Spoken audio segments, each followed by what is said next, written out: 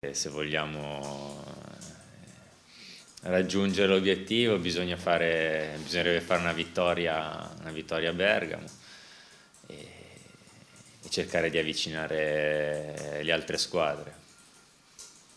iniziando a pensare sempre a noi e quindi ci vuole, ci vuole una vittoria, ci vuole.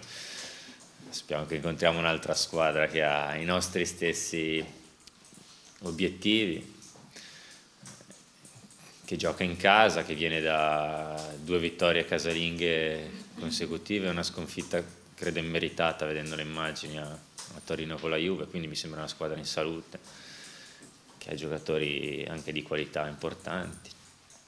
Però noi dobbiamo andarci a giocare la nostra partita eh, da una parte eh, consapevoli dell'importanza della gara, dall'altra parte comunque eh, sereni da, da, non, da, non, arrivare troppo, troppo, carichi alla partita perché poi quando, eh, quando, arrivi in quel modo magari non riesci a fare la prestazione giusta. Quando giochi in trasferta di solito sono le, le altre squadre che devono fare la gara e tu eh, sei, eh, sei, più in attesa magari per, per,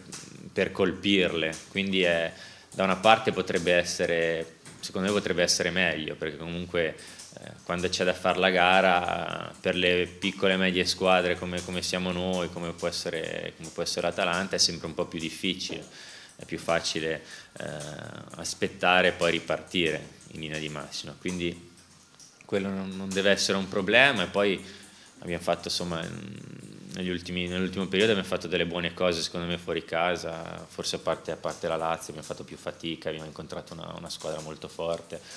però le altre partite le abbiamo fatte nella maniera giusta, quindi questo secondo me non... Eh, anzi è una cosa che potrebbe infastidire più loro, che giocano davanti al loro pubblico, che potrebbe eh, caricarli di, di responsabilità maggiori.